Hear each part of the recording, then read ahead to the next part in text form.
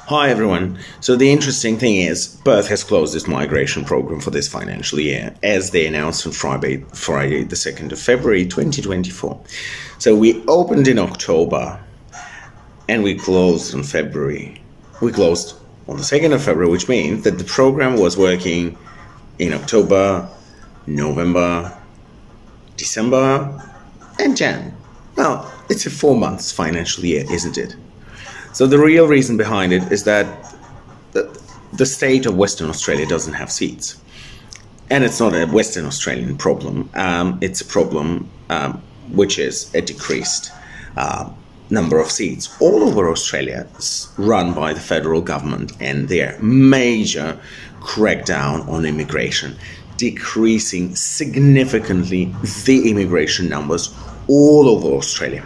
So you will see more program closures very soon. I'm pretty sure that you'll see Melbourne close in the coming weeks, if not days, possibly in the coming days, and then all other states will follow. South Australia, to uh, to our best knowledge, still has some seats available because they've been very very selective. They've been selecting people only whose visa is expiring very soon. So they, I think they might be able to drag their immigration program um, oh, well into the end of the financial year, possibly until um, April or May.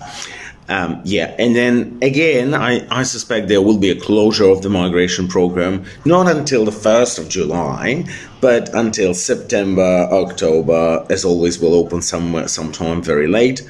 Um, and again, with decreased numbers, and we will be working for a shortened financial year time period, again, because we don't have enough seats in the migration program as part of a major decrease in seats that the Labour government is delivering. Am I excited about these, this news? Of course not. Um, what would I advise you to do?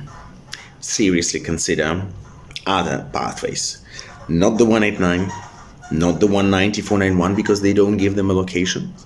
Consider the 494, 482 employer sponsored um, labor agreements, including company specific labor agreements. Consider DAMAs, consider partner visas.